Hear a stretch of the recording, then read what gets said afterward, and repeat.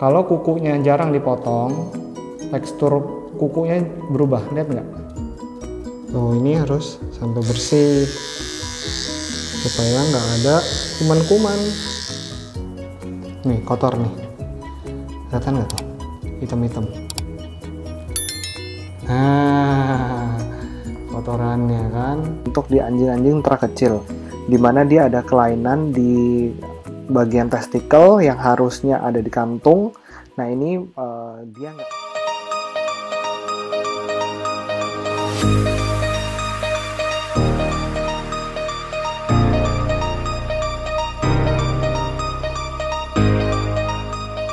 Oke, kembali lagi di channel Ferdinand Chandra dari La Photographer. Kali ini mau nyelesain model baru namanya Percy Pomeranian. Oke, kita take a look prosesnya ya. Halo Mas Wirya. Halo. Ini model baru namanya Percy. Jemputan untuk Ferdinand Pet Shop Kelapa Gading. Tolong keluarin Mas Wirya.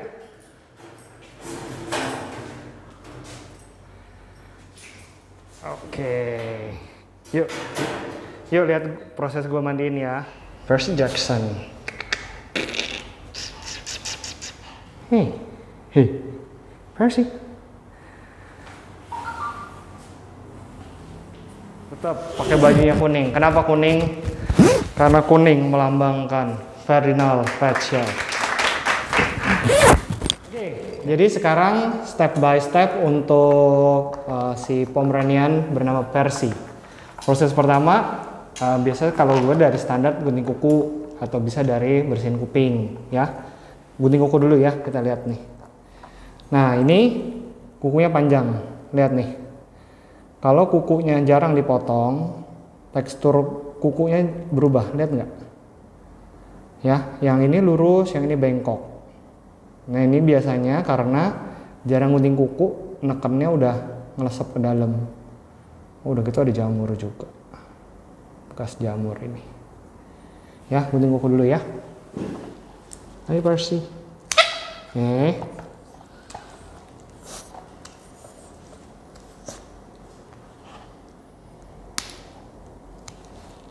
Hmm. Stay. Tuh, kukunya udah pada panjang. Iya. Enggak, enggak sakit. Eh. Shh. Jangan lupa nih, daerah jempol juga tetap harus dikikir supaya enggak tajam. Oke, satunya. Ini udah pada panjang. Nih, lihat nih, lihat tuh.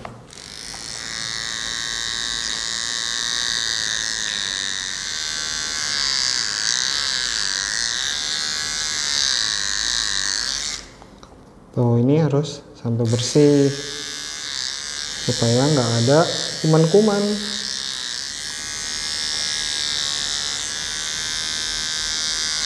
Itu kita pakai tetes kuping, bisa dibeli juga di Ferdinand Pet Shop, ada di online juga, Tokopedia, Shopee kita juga ada. Iklan. Ya tiga tetes saja cukup. Jangan langsung dibersihin, dipijat-pijat dulu. Nih kotor nih. Kelihatan nggak tuh? Hitam-hitam. Nih ya. Ini, ini sebelum dikasih obat nih, kita lihat nih. Sini Mas Wir, tolong dideketin biar kelihatan ya. Ini sebelum dikasih obat sedikit pun ya. Tuh. Ini belum dikasih obat nih, udah keluar kotorannya begitu. Ya, tetesin kurang lebih 3 sampai 5 tetes boleh. Dipijat-pijat dulu. Eh, kotor kan nih kotor nggak ya iya nah kotorannya kan? Yuk sekarang kita proses mandi. Uh, mandi biasa nggak uh, ada kutu. Uh, kalau yang di sini juga ada jamur bekas sembuh sih jadi masih oke okay untuk mandi biasa nggak usah pakai perawatan. Mandi dulu. Yuk Mas Wir ikut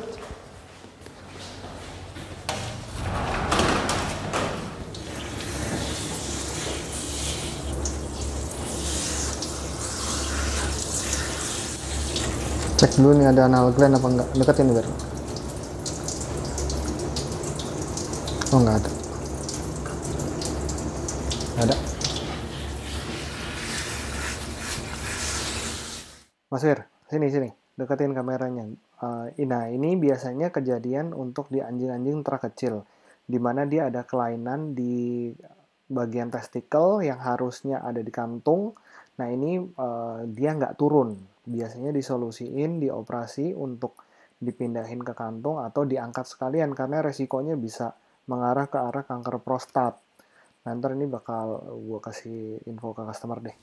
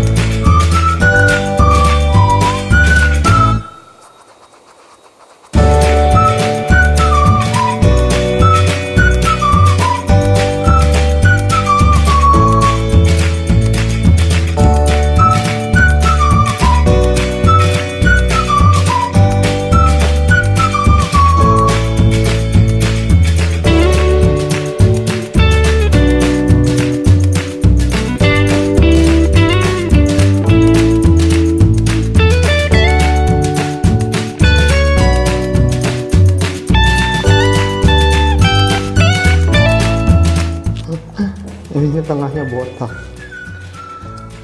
Kayak bekas jamur atau dia jilat-jilatin dia jilat-jilatin hingga berjamur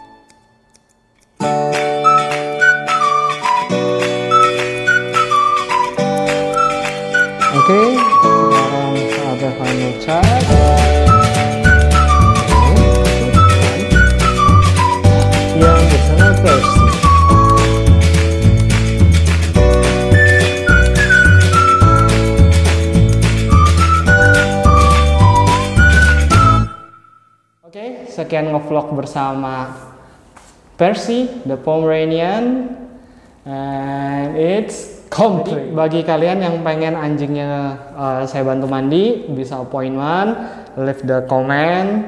Uh, terus kalau misalnya juga ada yang mau ditanya mengenai tips and trick, uh, terus gimana cara misalnya ada kendala tentang anjingnya, sebisa mungkin saya bantu jawab. Don't forget subscribe, like, and share. Bye.